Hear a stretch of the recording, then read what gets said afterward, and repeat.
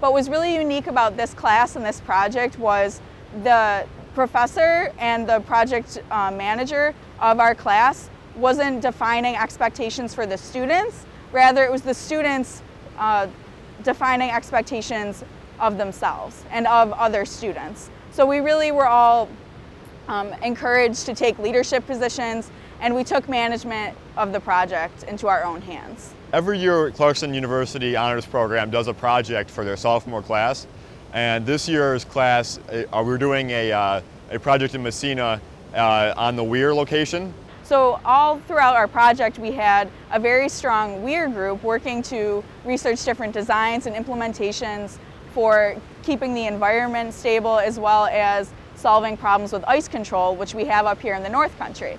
While there is the Weir side of the project, we also investigated other ways to economically develop the area, such as with a business incubator or with a fish hatchery that would supplement the Weir in the case of bringing in outside fish that are endangered and currently living in the river system. They work through uh, real world problems. They uh, learn a lot about processes and procedures and the environment and the economics. Uh, they've had to self-learn a lot of things, including learning about dam design and weir design. Totally surprised.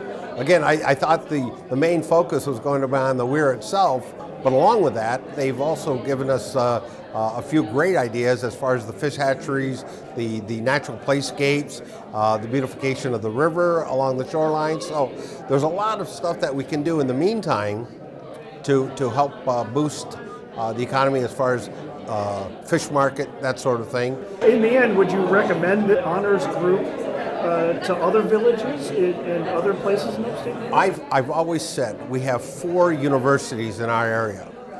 We should take advantage of what they have to offer. When these students leave and go back home and tell high school students that this is what we did at Clarkson, you know, other kids will want to get in on this sort of thing.